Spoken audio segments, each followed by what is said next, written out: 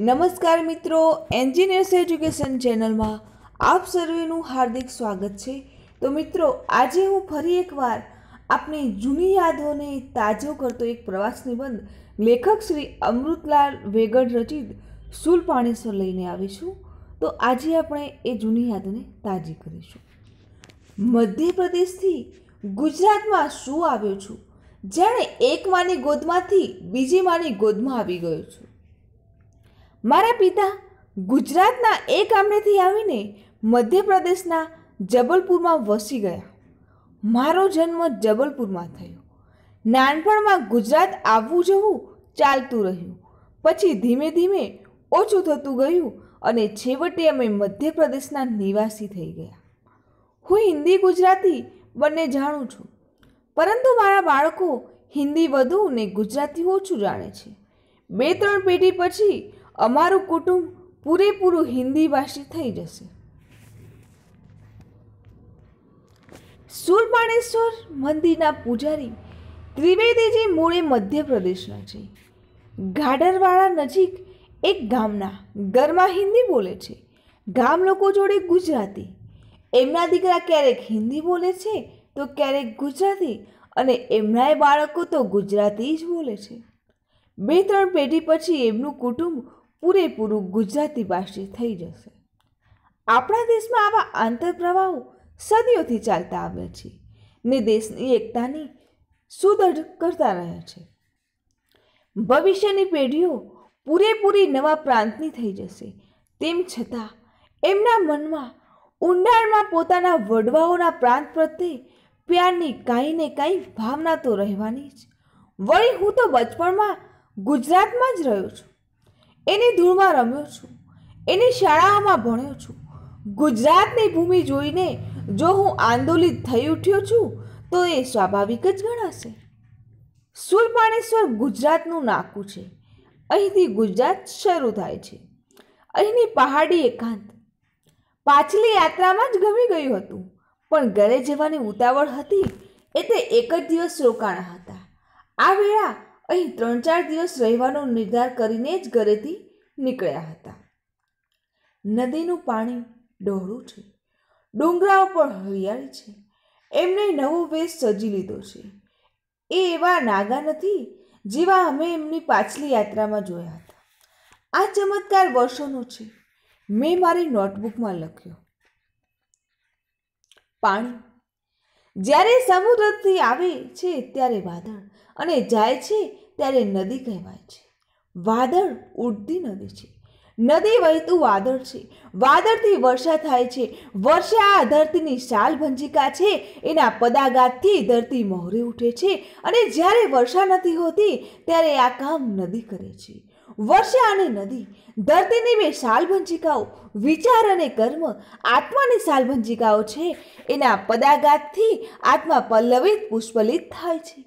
વાદળા ધરા પર ઉતરીને સાર્થક થાય છે. વિચાર કર્મમાં પરિણિત થઈને કૃતાર્થ થાય છે. બાદમાં આ પંક્તિઓ મેં મારા કવિ મિત્રને બતાવેલી એમણે એ જોતા જ રદ કરી દીધી. કહે, તમે તો ઉપદેશ આપવા લાગ્યા. કવિતામાં ઉપદેશ ન હોવો જોઈએ. મેં કહ્યું, તમારો આ ઉપદેશ કે કવિતામાં ઉપદેશ ન હોવો જોઈએ મને શિરોધાર્ય છે. જાણું છું, કવિ થવા કરતાં કવિ ન થવું સારું. કવિતા એ કવિ પાસે એ રીતે આવવું જોઈએ જે રીતે વૃક્ષમાં પણ આવે છે. એ સહજ સાધ્ય હોય, પ્રયત્ન સાધ્ય નહીં. વરદાનની જેમ મળી હોય, દેવની દીધેલ હોય, પણ આ કયો કવિતા છે? આ કવિતાનું બચ્ચું છે, જોડકનું છે, આને પણ શું એવી જ કઠણ અગ્નિ પરીક્ષા આપવી પડશે? અહીં આવે, આજે ત્રીજો દિવસ છે, આજે શરદ પૂર્ણિમા છે. આજે ચાંદો ફાટ કરીને ચાંદની આવશે. વળી આજ સુધી મારા બે વિદ્યાર્થીઓ પણ આવી જશે. પછી કાલથી ચાલશું. પરંતુ સાંજ રાતમાં ઢળી ગઈ, પણ વિદ્યાર્થીઓ ન આવ્યા. આ દુર્ગમ સ્થળમાં રાત્રે તો આવી જ ન શકે અને એમના આવવાની આશા છોડી દીધી. પૂનમનો ચાંદો ઉગી ગયો છે, પણ હજી એનું અજવાળું આવ્યું નથી. ચાંદો કાંઈક ઉપર ચડે તો અજવાળું આવે. જમી પરવારીને મંદિરના દરવાજા બહાર ઓટા પર બેઠો હતો. નવ વાગ્યા હશે. ત્યાં ઓચિંતાની અંધારાને ચીરીને આવતી થોડી આકૃતિઓ દેખાવા લાગી. થોડી વારમાં બિલકુલ પાસે આવી ગઈ. હું ચોંકી ઉઠ્યો. મારી આંખો પર વિશ્વાસ કરું કે ન કરું? ભાવાવેશમાં ચીસ પાડી ઉઠ્યો. કોણ? અનિલ? આવડી રાતે ગજબ કરી દીધો. ત્યાં તો મલય પણ આવી ગયો. આવા અંધારામાં તમે કેવી રીતે આવ્યા? સુલપાણેશ્વરથી નવાગામ ત્રણ કિલોમીટર છે. પાછલી વેળા સડકથી ચાલીને અમે ત્યાં એક કલાકમાં પહોંચી ગયા હતા. પણ ચોમાસામાં નદીના પટમાં જ બનેલી સડક ધોવાઈ ગઈ છે અને પહાડી પગદંડી એટલી મુશ્કેલ છે કે આ વેળા ત્રણ કિલોમીટર ચાલતા અમે ત્રણ કલાક થયા. એ દિવસે આવી અંધારે આ કેમ કરીને આવી ગયા? લોકોએ અમને સહેલો રસ્તો બતાવ્યો. ઠીક ઠીક, દૂર સુધી અમે સામે કાંઠેથી આવ્યા, પછી નાવથી નર્મદા પાર કરીને આ કાંઠે આવ્યા અને નાવવાળાને સાથે લીધો. આજે અમારે કોઈ પણ રીતે અહીં પહોંચવું હતું, નહીં તો કાલે તમે અહીંથી ચાલી નીકળ, નીકળત. હા, પણ હું કાલે પણ તમારી વાટ જોત. જો કાલે ન આવત તો પરમ દિવસે નીકળત. તો મહેરબાની કરીને પરમ દિવસે જ નીકળજો. અમે એટલા થાકી ગયા છીએ કે કાલે નીકળવાની હિંમત નથી. ભલે, પરમ દિવસે નીકળીશું. હવે હું નિશ્ચિત થઈ ગયો. નિશ્ચિત થઈને નર્મદા કાંઠે ચાલી ગયો. આકાશમાં પ્રકાશનો ભવ્ય મહોત્સવ શરૂ થઈ ગયો હતો. ચાંદાએ પોતાનો જાદુનો ડાબડો ખોલી દીધો હતો ને ચાંદની ધાર બાંધીને વરસી રહી હતી. ક્યારેક હું ચાંદની ઠાલતા ચાંદાને જોતો, ક્યારેક ચાંદનીની ચાદર ઓઢીને સૂતેલા ડુંગરોને જોતો, તો ક્યારેક ચાંદીથી જળાહળા થતી નદીને જોતો. નયનોનો આવો ઉત્સવ ફરી ક્યારે જોવા મળશે?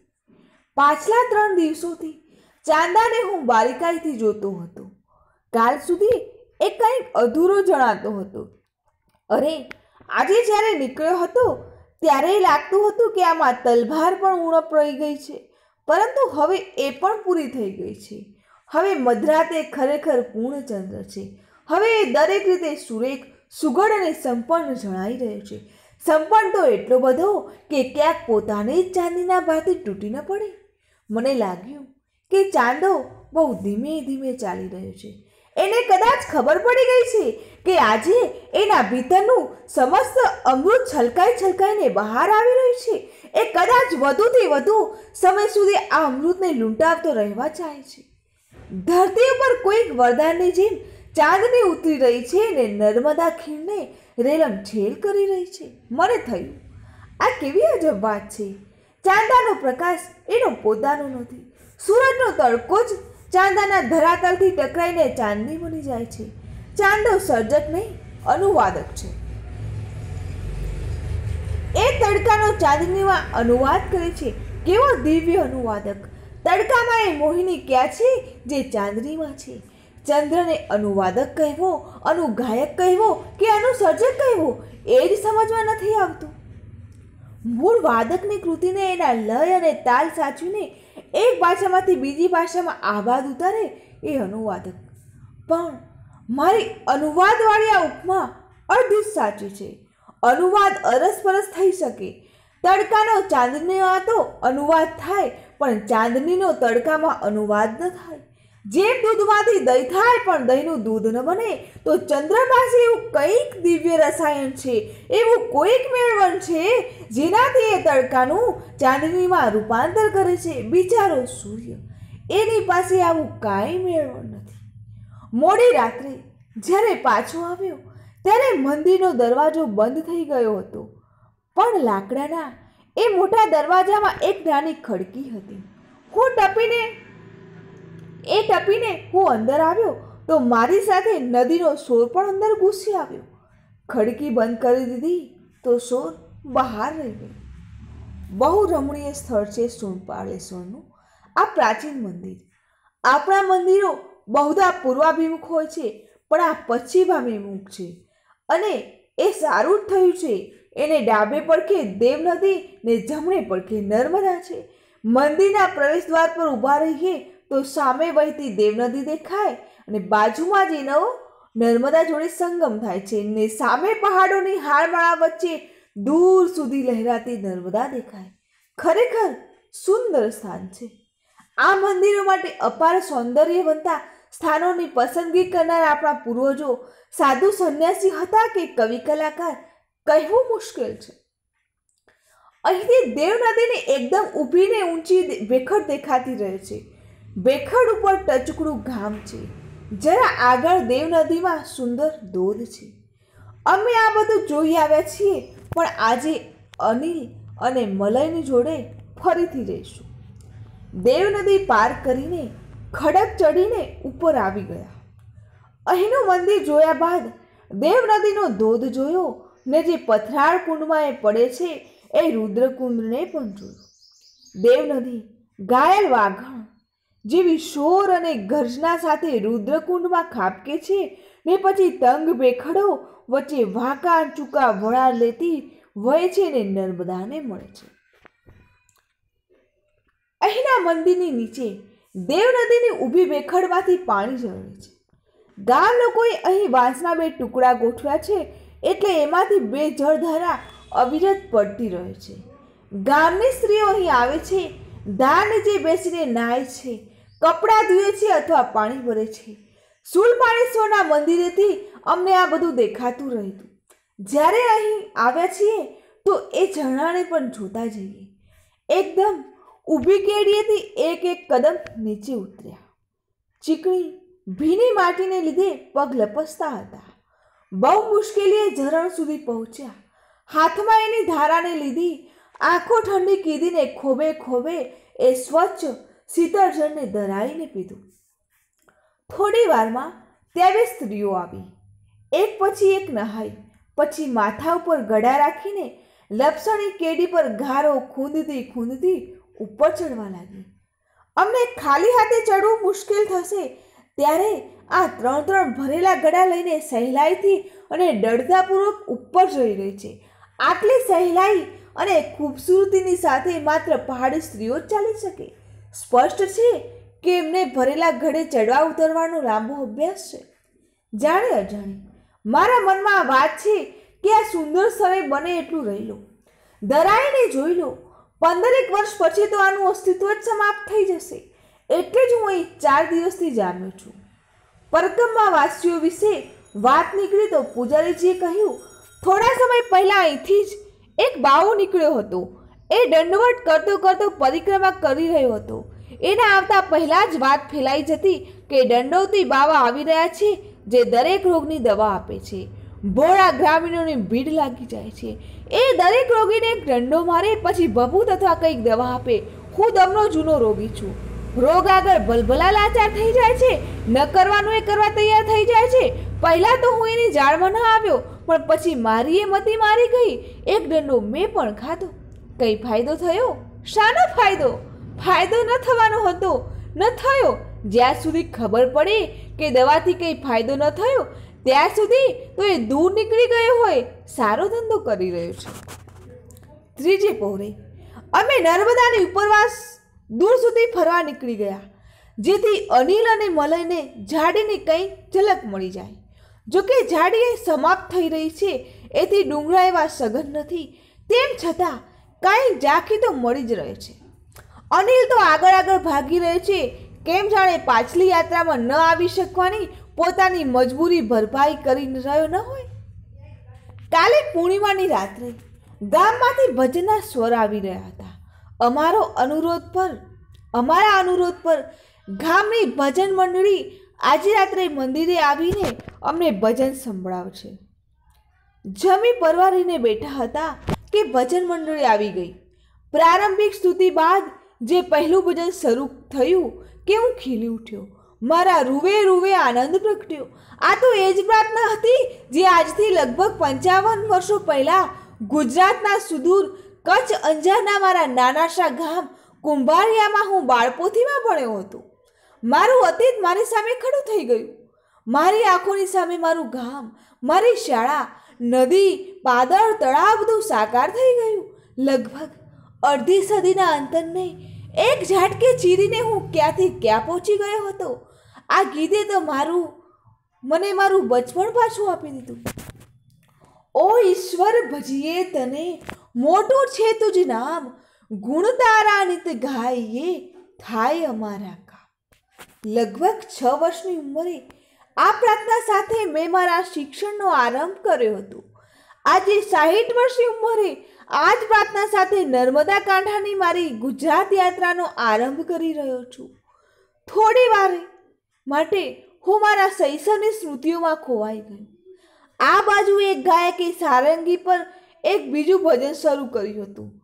તું તારા તનમાં તપાસ મારા ભાઈ રે તું તારા તનમાં તપાસ મારા ભાઈ રે ભમ્મર ગુફામાં ભીતર ભોયરા હંસા ફરે ત્યાંના ત્યાં. જેમ જેમ રાત જામતી ગઈ, તેમ તેમ ગાયકોનો કંઠ વધુ ગળતો ગયો. તેઓ ભાવ વિભોર થઈને સંભળાવતા રહ્યા, અમે રસ વિભોર થઈને સાંભળતા રહ્યા. સવારે ખબર પડી કે અનિલના જોડા કોઈક ચોરી ગયું છે. અમારો સામાન મંદિરની પરસાળમાં ખુલ્લો પડ્યો રહેતો. ચાર દિવસમાં એક સોયની પણ ચોરી નહોતી થઈ. પણ કાલે રાત્રે ભજન મંડળીની સાથે ગામના બીજા લોકો પણ આવ્યા હતા. એમાંથી જ કોઈક લઈ ગયું. કેનવાસના મોગા જોડા હતા. એટલું સારું થયું કે અનિલે સ્પંજની ચંપલની એક જોડ પર રાખી લીધી હતી. એટલે ઉઘાડા પગે ચાલવાની નોબત ન આવી. પણ શ્યામલાલ તો ઉઘાડા પગે જ ચાલશે. આમ સુરપાણેશ્વરના મંદિરમાં ચાર દિવસ રહ્યા બાદ નવ ઓક્ટોબર ઓગણીસો ને સત્યાસીની વહેલી સવારે અમે ચારે ચાલી નીકળ્યા. આ આનંદ લોકમાંથી નિર્વાસિત થવું ગમતું તો નથી, પણ સમુદ્ર કાંઠે વેળાસર પહોંચવું જરૂરી છે.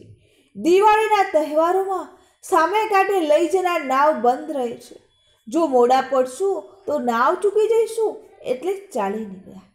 શ્યામલા મારી જોડે ત્રીજી વાર ચાલી રહ્યો છે. અનિલ બીજી વાર અને મલય પહેલી વાર.